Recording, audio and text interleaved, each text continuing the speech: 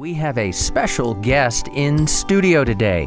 His name is Charlie Geller. He's a singer songwriter. Charlie, you came across the book Dare to Discipline, and it has a special meaning for you. Can you tell us about that? Sure. Um, many years ago, my son was about.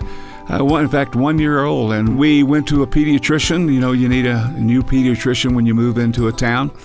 And so the doctor checked out my son, said he looks great. Now said to his nurse, you know, take him out of the room. I want to talk to mom and dad. I didn't know what was going to happen, so we waited, and the doctor looked at me and tossed Kathy and me this book.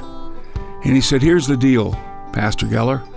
Uh, you read the book, and if you agree to do what it says in the book, you come back and I'll be your child's pediatrician. If not, well, basically, you need to find another pediatrician. I went home, uh, read the book. Hmm uh, incredibly uh, accurate biblically.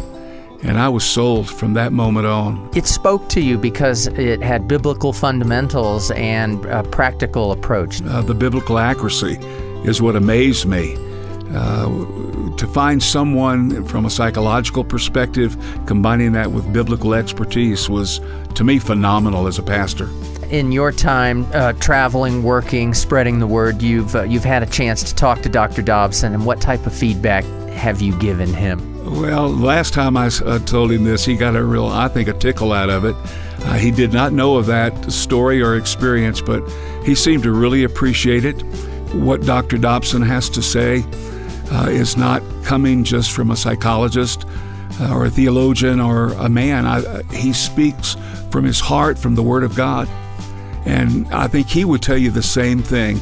Test everything that he tells you by Scripture. And I think if you do that, you'll find that he's right on target.